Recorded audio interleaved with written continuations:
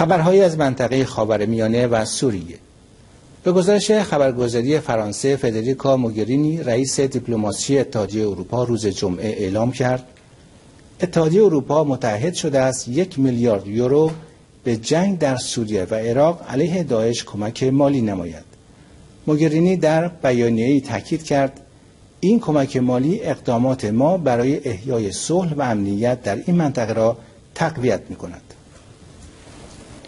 تلویزیون التغییر گزارش داد سلسله انفجارهایی بغداد را به لرزه انداخت و شست کش... کشته و مجروح بر جای گذاشت.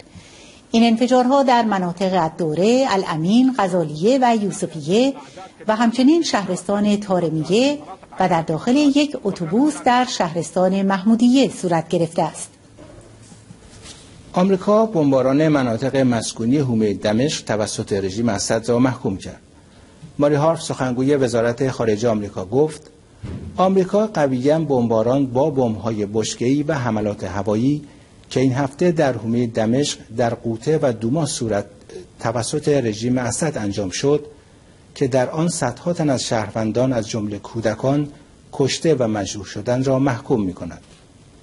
هدف قرار دادن شهروندان در نزدیکی حلب در روز گذشته در حالی بود که قربانیان فقط در تلاش برای گرفتن آب از میدان عمومی بودند و عدهای نیز سوار بر یک اتوبوس بودند.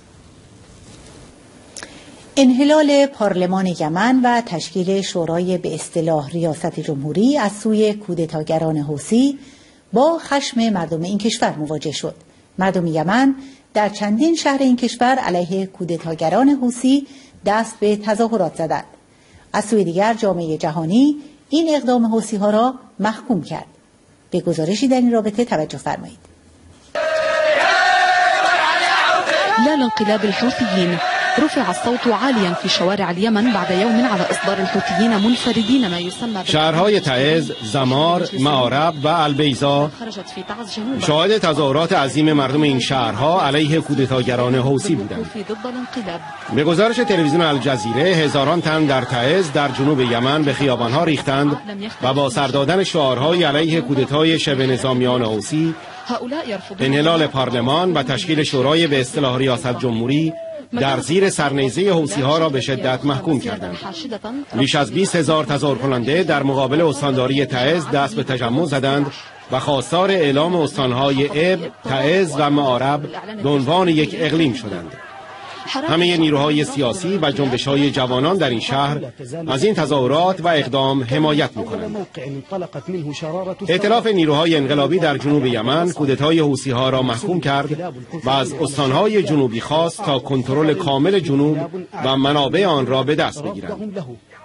در حدیده جنبش های جوانان این شهر در یک تظاهرات شبانه به خیابان ها ریختند و انحلال پارلمان توسط حوسی ها را کودتایی فرق گرایانه علیه توافقات قبلی دانستند و نسبت به هر گونه سرکوب و مصادره حقوق و آزادی ها از سوی حوسی ها هشدار دادند. حکومت محلی در استان حضرالموت اعلام کرد به هیچ دستوری که از سوی حوسی ها صادر شود عمل نخواهد کرد. استانهای عدن و شبوه نیز انحلال پارلمان و تشکیل شورای ریاست جمهوری از سوی حوسی ها را رد کردند. در عدن کمیته امنیتی این استان یک کمربند امنیتی در اطراف این شهر برای جلوگیری از خطرات احتمالی تشکیل داد. در صنعا شبه نظامیان حوسی در جلوی دانشگاه این شهر بر روی جوانان تظاهر کننده آتش گشودند و اقدام به رو بودن فعالان و مخالفان خود کردند. از دیگر شورای امنیت سازمان ملل متحد از کودتای حوسی ها و انحلال پارلمان یمن شدیداً ابراز نگرانی کرد. نماینده چین رئیس دوره شورای امنیت بر ضرورت اجرای ابتکار عمل کشورهای عضو شورای همکاری خلیج فارس در یمن تاکید کرد.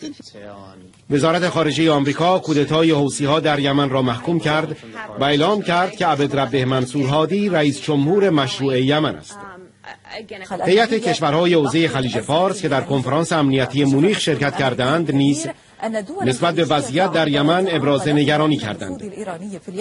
آنها ضمن دیدار با جان کری وزیر خارجه آمریکا خواستار قطع دخالت‌های رژیم ایران در یمن شدند. ادرویس رئیس کمیته روابط خارجی مجلس نمایندگان آمریکا با صدور بیانیه‌ای در مورد وقایع اخیر یمن اعلام کرد تحت کنترل گرفتن کشور یمن توسط شبه نظامیان حوسی مورد حمایت رژیم ایران حرکتی بسیار خطرناک علیه امنیت ملی ماست. رژیم ایران در حال تقویت دخالتهایش در منطقه است. ادرویس افسود دولت آمریکا نقش مخرب رژیم ایران در منطقه را که رو به افزایش است باید مهار کند.